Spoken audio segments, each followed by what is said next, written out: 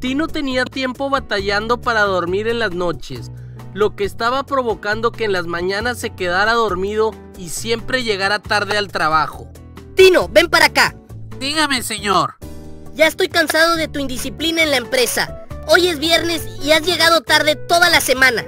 Señor, es que estoy batallando mucho para dormir en la noche y todas las mañanas me estoy quedando dormido. No me interesa escuchar tus excusas baratas. Si tienes problemas de insomnio, ve con el médico. Pero aquí no vuelves a llegar tarde. Te voy a tener que despedir si lo vuelves a hacer. Ese mismo viernes, Tino se presentó con el doctor. Después de que Tino le explicó su situación al doctor, este le dijo, Muy bien, Tino, tu problema no es nada grave, no tienes de qué preocuparte. Tómate este jarabe antes de acostarte y vas a dormir de maravilla. Tino siguió las indicaciones del médico al pie de la letra y durmió de maravilla. Se despertó a las 6 en punto. Antes de llegar al trabajo fue a desayunar con calma y llegó a la oficina a las 8 de la mañana en punto. Tino, ven para acá. A la orden, jefe. No es necesario que me felicite por llegar temprano. Me tomé un jarabe y dormí mucho mejor. Muy bien que ya estás durmiendo mejor, Tino. Pero ¿dónde demonios estabas ayer? Hoy es martes.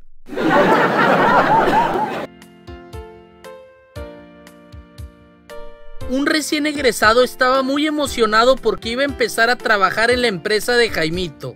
Pronto se corrió la voz del nuevo asistente de la empresa que todos los empleados empezaron a apoyarse en él y el trabajo se le disparó. Una mañana, Jaimito como director de la empresa no tenía mucho en qué matar el tiempo y se puso a pensar.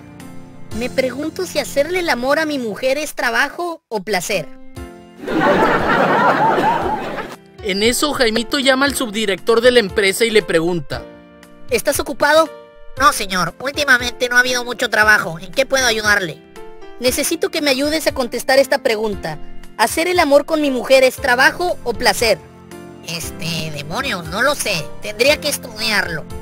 Bueno, vaya a estudiarlo, pero tiene 50 minutos para que me dé una respuesta. El subdirector de la empresa va con el encargado de recursos humanos y le pregunta. Hey, tú, ¿estás ocupado? La verdad no. Últimamente no ha habido mucho trabajo. Estaba viendo un video de Red Mau. Necesito que me resuelvas esta interrogante. ¿Que el director haga el amor con su mujer es un acto de placer o de trabajo? Ah, caray. Esa es una muy buena pregunta. Déjame investigar y regreso contigo. Muy bien, tiene 40 minutos para que regrese conmigo con una respuesta.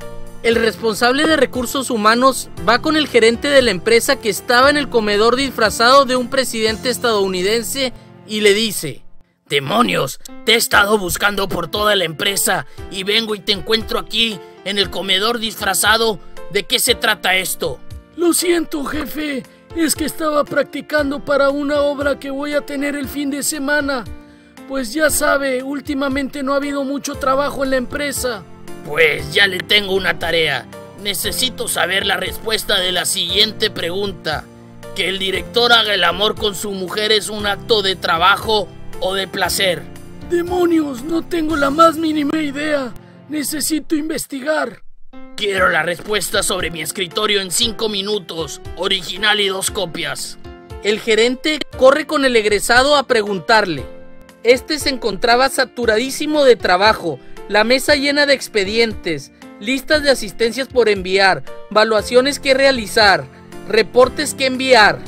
A ver, tú rápido, tengo dos minutos. Necesito saber si el director hace el amor con su mujer es un acto de placer o de trabajo. Es placer, definitivamente. Vaya, eso fue rápido. ¿Cómo ha llegado tan rápido a esa conclusión? Porque si fuera trabajo, me la tendría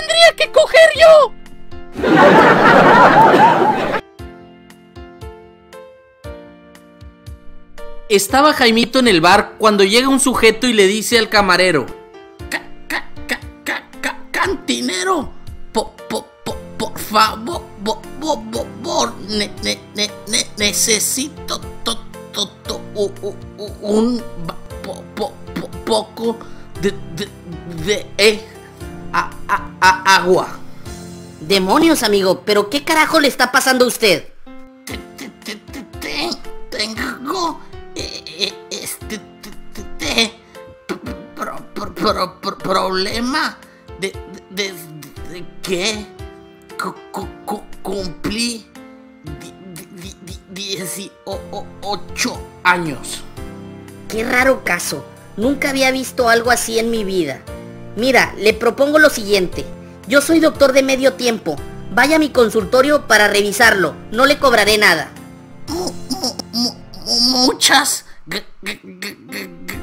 gracias.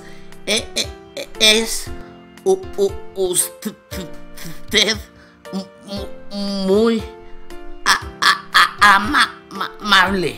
Al día siguiente, el joven tartamudo se presentó en el hospital para ver a Jaimito.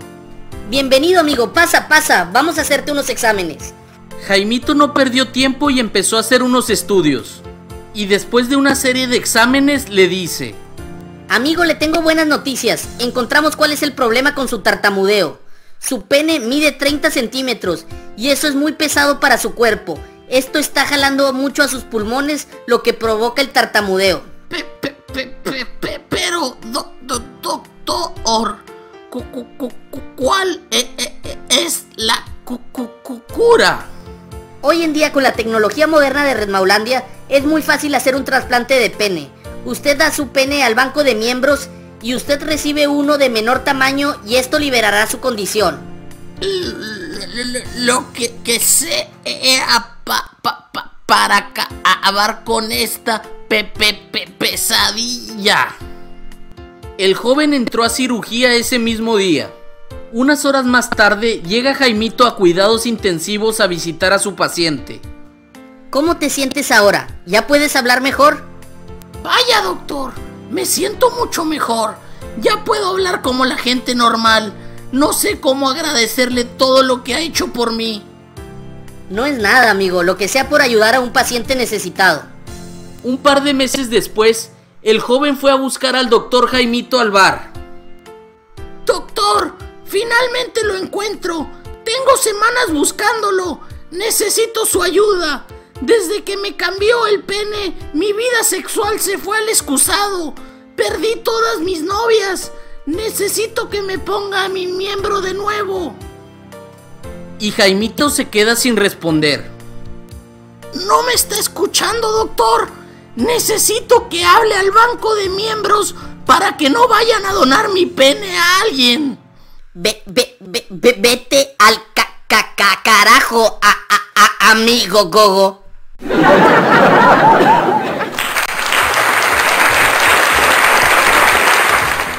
Amigos, si te gustó este video me ayudarías mucho compartiéndolo y regalándome un pulgar arriba. No olvides activar las notificaciones del canal de Red Mau picándole a la campana, porque la leyenda dice que si llegas temprano, Red Mau te responde.